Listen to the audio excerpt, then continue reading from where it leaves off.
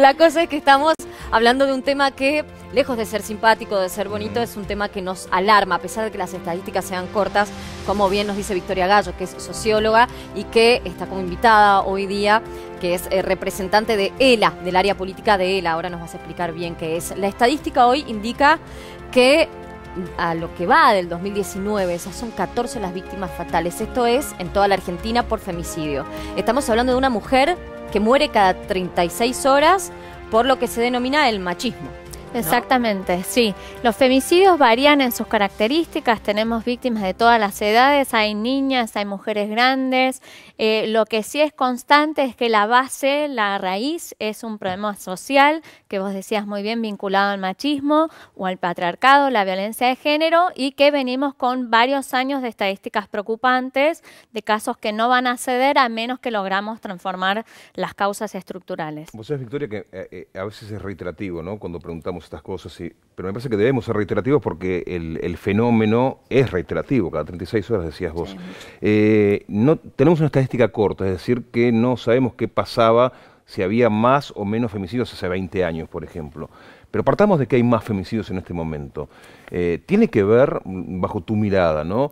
con el macho violento que se siente amenazado por la mujer que está ocupando el lugar que, se, que corresponde? Bueno, las causas son múltiples, ¿no? Nunca los femicidios van a tener una sola causa. Lo que sí tiene mucho que ver es la base de la desigualdad social entre varones y mujeres y sin duda que la transformación de la situación de las mujeres, que hemos salido al mercado laboral, que venimos ganando derechos en, en el ámbito civil, social y político, puede empujar a transformar un poco las bases de las relaciones. ¿Qué pasa en el seno de esas parejas con, con ese tipo de hombres?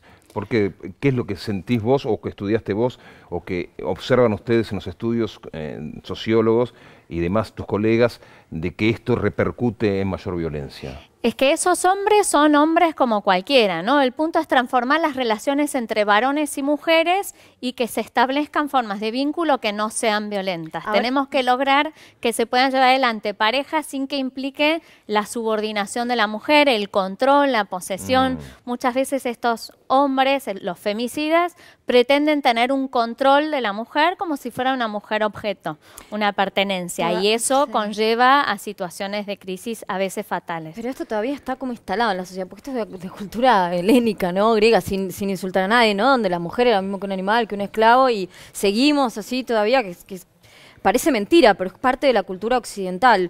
Ahora, yo te hago una pregunta, ya que hice una eh, retrospección hacia atrás, ¿no? Eh, en el rango económico-social, ¿no? Porque es diferente, calculo yo, las estadísticas de femicidios son diferentes en los distintos rangos, ¿no? ¿Hay mayores femicidios en la pobreza? ¿Te lo puedo preguntar así? En realidad tenemos muy pocos años como para saber si la condición social de las mujeres tiene que ver con los femicidios. Tenemos víctimas de todas las clases sociales. Lo que sí puede pasar es que las mujeres de los sectores populares tengan menos acceso a recursos protectorios, a resguardo. Por ejemplo, la autonomía económica, que es tan importante, muchas veces no es una posibilidad para las mujeres de sectores populares. ¿no? Si vos sos una mujer eh, de un barrio pobre con hijos a cargo y no tenés un empleo, es muy posible que te cueste más salir de una relación violenta que una mujer que tiene los recursos para hacerlo. Pero yo me refiero a la cuestión eh, educacional, ¿no? Porque quien tiene más recursos tiene más educación, es cierto, esto ha sido siempre. Y que por allí los sectores más pobres, con más pobreza, digo económica, ¿no? Por ahí puedan sufrirlo más. Eh. económica y también digo recursos simbólicos, recursos culturales. No solamente es una cuestión de dinero, sino saber a dónde acudir, conocer tus derechos, exactamente.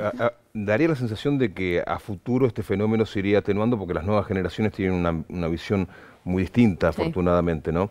Eh, ¿Se puede trabajar sobre eh, esta generación actual, que es la que está, eh, la que nos preocupa tanto? Te lo digo, a ver, los padres de adolescentes tenemos la fortuna de poder ver que hoy hombres y mujeres son amigos, cosa que hace 30 años era difícil, es decir, tengo una amiga mujer... No existe la amistad entre bueno, mujeres, bueno, eso, eso no existía, ¿no? Hoy en día los chicos tienen esa cuestión de amistad porque es como que crecieron en, esta suerte de, igualdad que, que, es la que corresponde, siempre tendría que haber sucedido, pero que el fenómeno se está viendo ahora. Se puede y se debe trabajar sobre ese cambio cultural. Sin duda el cambio cultural es el camino más importante y que va a ser el cambio de, digamos, más sustentable, porque vos, vos puedes llevar adelante políticas de justicia, de policía, de resguardo del Estado, pero la base tiene que cambiar y la base es la relación cultural. Y yo te quiero hacer una pregunta que tiene que ver con las, vos como socióloga sabes, ¿no? Con las reacciones sociales. Cuando un fenómeno social reacciona a, una, algo cultural o que ya viene desde lo consuetudinario, nunca es tranquilo. Por lo general es virulento, ¿no? Es fuerte. ¿Qué pasa con los medios de comunicación hoy en día que son autogestionados o que uno puede autoconvocar y por allí por con la mejor intención termina desvirtuando el tema, como ha pasado con algunas campañas, que finalmente en lugar de generar el efecto que se busca, que es disminuir los femicidios, genera todo lo contrario, generalmente genera repudio contra las formas, ¿no? Y que es una cuestión manifiesta en la sociedad.